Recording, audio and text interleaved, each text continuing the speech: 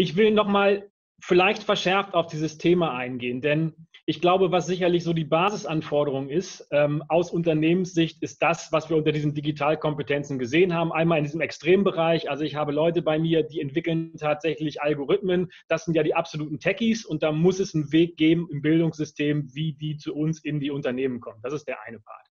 Der zweite Part sind für mich ein Stück weit Grundkompetenzen. Ähm, Rechnen, Schreiben, Digitalisierung. Das ist so für mich, was jeder irgendwie mitgenommen haben muss. Ich möchte aber auf eine Beobachtung hinweisen, die auch in der Präsentation sehr stark durchklang und die mir ganz, ganz wichtig ist.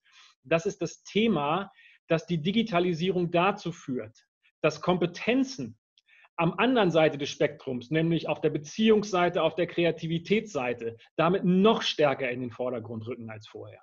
Und ich will nochmal aufgreifen, was gerade gesagt worden ist. Ich bin selbst zuständig bei uns für alle HR-Services global weltweit. Das sind ungefähr 1000 Mitarbeiter, die sämtliche auch Administrationsthemen von HR machen. Also nicht nur Learning und Training, wie wir jetzt unterstützt haben äh, an der Stelle, sondern auch zum Beispiel Abrechnungsthemen. Und da gibt es drei Typen von Arbeit, die ich gerne nochmal aufgreifen möchte in dem Modell, äh, wie, ich sie gerade, wie ich sie gerade verstanden habe. Das sind einmal die Leute, die können Prozesse befolgen. Das ist die Arbeit, die ich entweder schon aus Rumänien heraus mache oder in Deutschland behalte, aber komplett automatisiert sind. Befolge Prozesse nach Anweisung ist keine Kompetenz, die wir in Zukunft in den Unternehmen benötigen.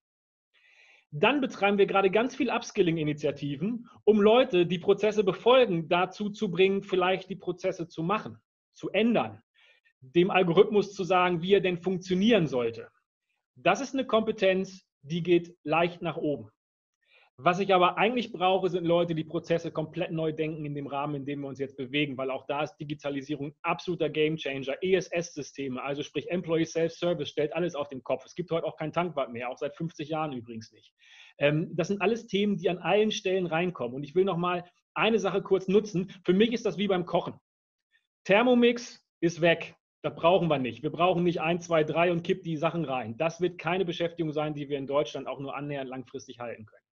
Leute, die in der Lage sind, diesen Prozess zu beschreiben, wie dann zum Beispiel Computer diesen Thermomix automatisch beliefern, das ist etwas, was wir immer mehr brauchen. Aber eigentlich brauche ich Leute, die neue Rezepte erfinden. Und das wiederum ist für mich eine ganz, ganz wichtige Botschaft auch in die Bildungssysteme. Ich brauche keine ausgebildeten Angepassten. Ich brauche Innovation. Ich brauche Kreativität. Ich brauche Querdenker. Ich brauche Leute, die Komplexität über kritisches Wissen in irgendeiner Form mitbringen. Und das ist die Art von Typen, die wir in Unternehmen jetzt schon suchen.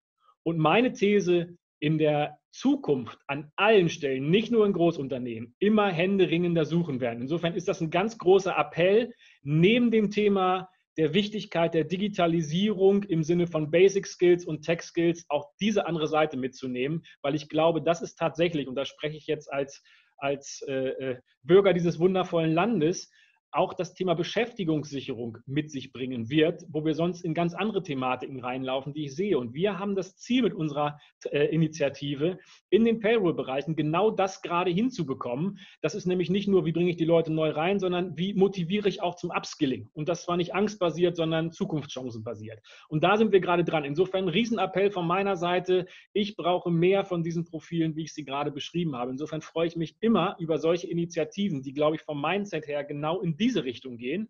Und ich freue mich auch, dass Angela da ist, die nochmal viel stärker aus einer Ausbildungssicht vielleicht auch nochmal deutlich besser als ich auf konkretere Kompetenzen hinweisen kann. Aber das große Bild, das war mir als Appell einfach hier in die Runde ganz wichtig. Und insofern freue ich mich, dass es hier so einen Austausch gibt. Vielen Dank von meiner Seite jetzt schon mal. Ja, hallo auch in der Runde. Ich freue mich sehr dabei zu sein. Deswegen, ich brenne für die digitale Bildung in meiner Funktion, aber auch privat. Ähm, vielleicht ganz kurz zu mir. Ich betreue hier die kaufmännische Ausbildung am Standort ähm, Hannover. Oh, jetzt ist hier gerade meine Batterie fast leer, aber ich hoffe, ich äh, kann gleich nochmal umswitchen. Ähm, äh, ich betreue also ungefähr 170 kaufmännische Auszubildende und duale Studenten und ich habe äh, ein ganz tolles Erlebnis gehabt äh, im Rahmen hier auch des, des Lockdowns, der passiert ist, dass ich von heute auf morgen mit meiner gesamten Mannschaft ins Homeoffice umgezogen bin. Warum hat das funktioniert? Weil unsere Auszubildenden Kompetenzen mitbringen, die ich glaube ganz wichtig sind und Steffen hatte schon einige erwähnt. Und ich würde die ganz gerne nochmal so aus meiner Sicht kurz zusammenfassen. Klar, digitale Kompetenz ist ganz wichtig, bringen die meisten mit. und untereinander sich das beizubiegen, das funktioniert auch ganz großartig. Wir machen unsere Kompetenzen an den Werten fest und wenn ich darauf schaue, war Vertrauen ganz wichtig. Vertrauen in die eigene Fähigkeit, das zu wuppen. Vertrauen, äh, dass wir die Situation schaffen, aber auch Vertrauen, dass auch nicht alles gut läuft, sondern dass auch manches, ähm, dass Fehler passieren. Also das, das war ganz, äh, ganz offen das Thema Vertrauen. Äh, die Basis muss da sein. Und wie gesagt, der Mut auszuprobieren. Wir haben auf der anderen Seite das Thema Gewinnermentalität, zu sagen, Mensch, wir, wir schaffen das, wir äh, kriegen das hin, diese schwierige Situation mit kreativer Problemlösung, und da ist sie wieder, auch wirklich zu wuppen. Ne? Also, dass wir wirklich sagen, äh, Mensch, das Problem ist da, wie kriegen wir das hin, wer hat Ideen? In der Zeit besonders gelernt, klare Kommunikation ist ein ganz, ganz, eine ganz wichtige Fähigkeit, auf Distanz trotzdem alles auf den Punkt zu bringen, jeden mitzunehmen. Das sehe ich, also kommunikative Fähigkeiten ganz, ganz weit vorne. Und wir haben die Freiheit als Wert, Freiheit bedeutet Verantwortung, Verantwortung für sich und andere. Auch das äh, hat super, super gut funktioniert.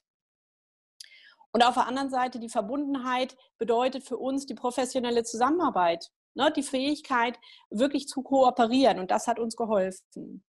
Und da ist vielleicht ganz wichtig, wir haben schon solche Auszubildenden, wir wollen mehr davon. Und das ist natürlich auch dazu da, um die Talentpipeline zu füllen.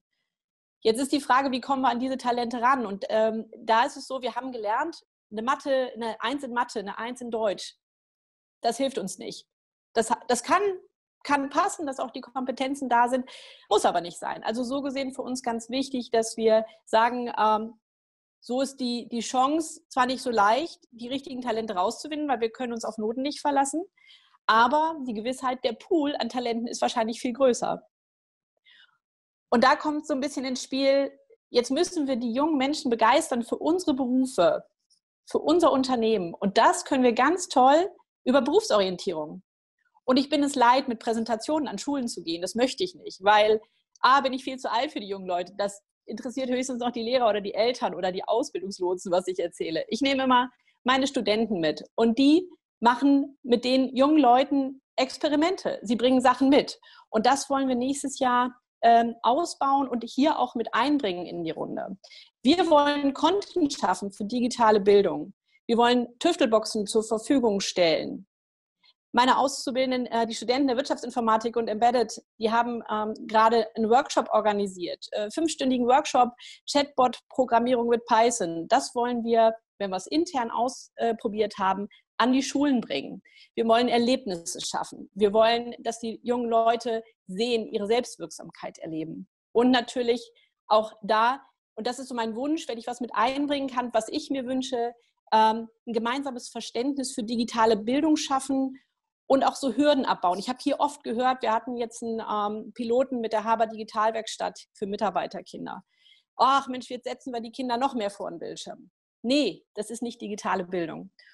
Und wenn ich da den Beitrag leisten kann, hier aus der Ausbildung der Continental mit Content äh, die Schulen mit digitaler Bildung auch äh, zu versorgen, das wäre so unser Beitrag. Ich hoffe, dass auch im Sinne der Gemeinschaft und auch da, das fand ich so schön, äh, auch von Richtung äh, Volkswagen Nutzfahrzeuge, auch da laden wir ein, das müssen wir nicht alleine machen. Ja, wenn wir mit IT-Lern arbeiten, die Lust dazu haben, ihre Begeisterung weiterzugeben. Das wäre zum Beispiel ein Thema, was uns ganz wichtig ist, die IT. Dann, wie gesagt, kooperieren wir da auch super, super gerne und äh, können da gemeinsam am Standort was wuppen.